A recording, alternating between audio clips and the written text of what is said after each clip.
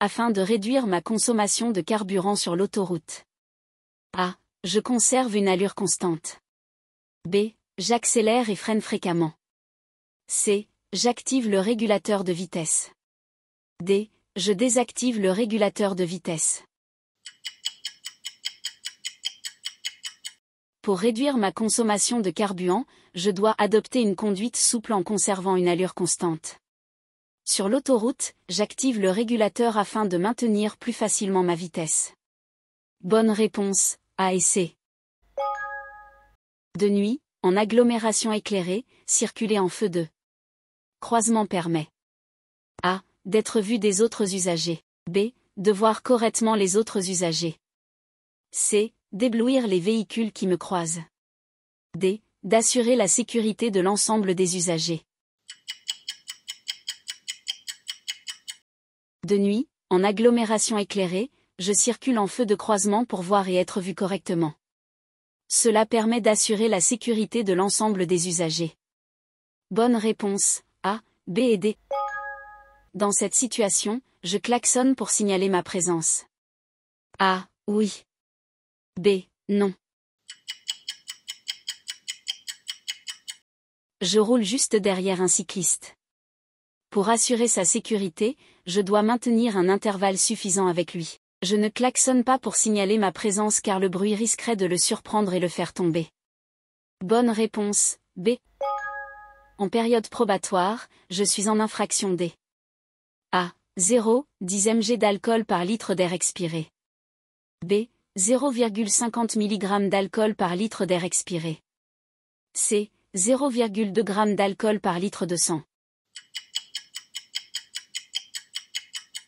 En tant que conducteur en période probatoire, je suis en infraction des 0,10 mg d'alcool par litre d'air expiré, soit 0,2 g d'alcool par litre de sang.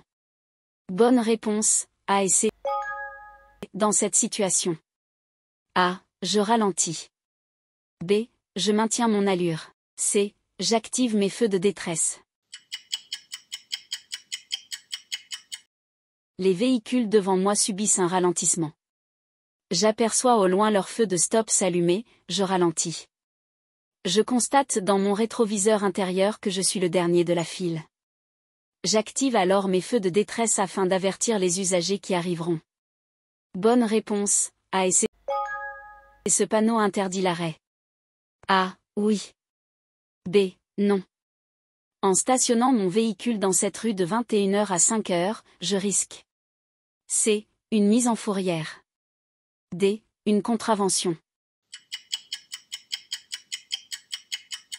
Ce panneau barré d'une seule bande, interdit le stationnement uniquement. Le panonceau situé en dessous indique que cette interdiction ne vaut que la journée entre 6h et 20h. Je peux donc stationner mon véhicule dans cette rue de 21h à 5h sans risquer de contravention ni de mise en fourrière. Bonne réponse, B. Je possède un véhicule hybride, celui-ci. A. Ne rejette aucune particule de CO2. B. Limite les rejets de CO2. Un véhicule hybride possède un moteur électrique combiné à un moteur thermique, qu'il utilise en fonction de ses besoins.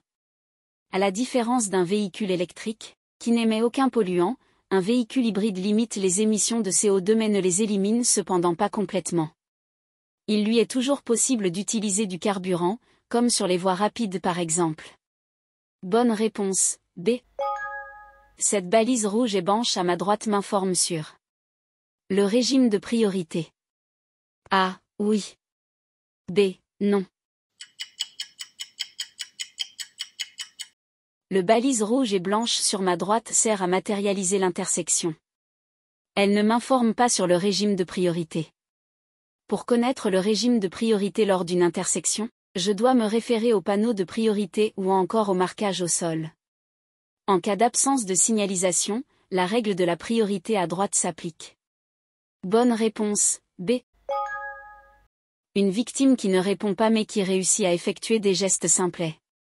A. Consciente. B. Inconsciente. Une victime qui ne répond pas, mais qui réalise des gestes simples et tout de même consciente. Il peut s'agir de gestes simples comme serrer la main ou ouvrir et fermer les yeux. Bonne réponse, A. Pour économiser du carburant dans une longue descente. Je me mets au point mort. A. Oui. B. Non. J'utilise mon frein moteur. C. Oui. D. Non. Le frein moteur est un mécanisme de freinage permettant de ralentir un véhicule sans utiliser les freins de friction. L'utilisation du frein moteur est préconisée dans les descentes à fort dénivelé pour éviter de trop solliciter et d'user les freins. Lorsque le conducteur débraye ou passe le point mort, la liaison entre le moteur et les roues est coupée, ne permettant plus à l'automobiliste d'utiliser le frein moteur. Pour pouvoir utiliser le frein moteur, il faut donc obligatoirement qu'une vitesse soit passée. Bonne réponse, B et C. Dans un tunnel. Il peut être obligatoire de rouler au-dessus d'une certaine vitesse. A. Oui. B. Non. On peut m'imposer une distance minimale à respecter avec la voiture qui me précède. C. Oui. D. Non. Pour éviter les écarts de vitesse importants dans un tunnel, celui-ci peut posséder une vitesse minimale que je dois obligatoirement respecter. On peut également m'imposer une distance minimale à respecter avec la voiture qui me précède pour réduire le risque d'accident. Bonne réponse, A et C. L'entrée dans une zone de rencontre est représentée par le panneau. A, A. B, B. C, C. D, D. Le panneau C indique une zone de rencontre, tous les usagers peuvent y circuler à 20 km h maximum. Le but d'une zone de rencontre est de faire cohabiter plusieurs catégories d'usagers, automobilistes, bus, piétons, cyclistes, etc., de manière apaisée. Bonne réponse, C. Immédiatement à droite, je peux m'arrêter. A. Oui. B. Non. Stationner. C. Oui. D. Non. Le marquage au sol indique un arrêt de bus. Il est interdit de s'y arrêter ou de s'y stationner. Bonne réponse, B et D. Les accidents liés à l'alcool sont causés principalement par des consommateurs. A. Réguliers. B. Occasionnels. Contrairement à ce que l'on pourrait penser, les accidents de la route liés à l'alcool sont causés en grande majorité par des consommateurs occasionnels. Bonne réponse, B. Je souhaite me rendre à Genève. J'emprunterai obligatoirement l'autoroute. A. Oui. B. Non. Je vais être amené à circuler sur une route départementale. C. Oui. D. Non. Le panneau de direction de Genève est à fond vert, accompagné du panneau d'entrée d'autoroute. Pour me rendre à Genève, j'ai donc le choix d'un itinéraire routier ou autoroutier. Le cartouche jaune qui surplombe le panneau m'indique que je vais circuler sur une route départementale. Bonne réponse, B et C. La circulation en interfile n'est possible que si la limitation de vitesse de la route est supérieure ou égale à 50 km h B. 70 km h Est autorisé. C. Dans toute la France. D. Dans certains départements. La circulation en interfile n'est possible que si la limitation de vitesse de la route est supérieure ou égale à 70 km h L'expérimentation de la circulation interfile a débuté le 2 août 2021 et est prévue pour durer trois ans. La circulation interfile n'est pas autorisée sur l'ensemble du territoire français pendant cette expérimentation. 21 départements ont été sélectionnés pour la tester. Bonne réponse, B et D. Ici, je suis bien placé. A. Oui. B. Non. La voie de droite. C. Est une voie réservée. D. Autorise la circulation des trottinettes électriques. La voie de droite est une voie réservée aux bus. Je suis donc bien placé pour circuler. De plus, le marquage au sol présent dans la voie de bus indique également que les cyclistes, et par conséquent les trottinettes électriques, peuvent y circuler.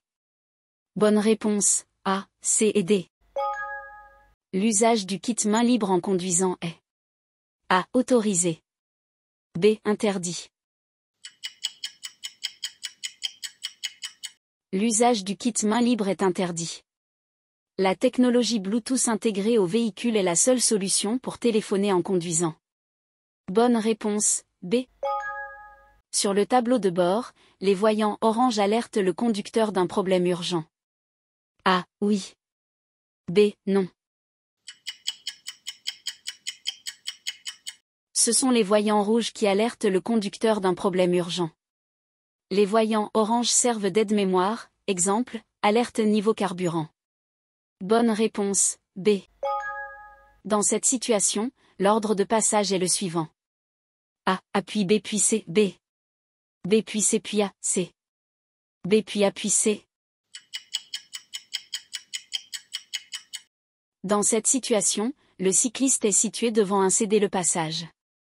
Il doit donc céder le passage à gauche et à droite. Ensuite, la règle de la priorité à droite s'applique, la voiture A doit céder le passage à la voiture B. Ainsi, l'ordre de passage est B puis A puis C. Bonne réponse, C.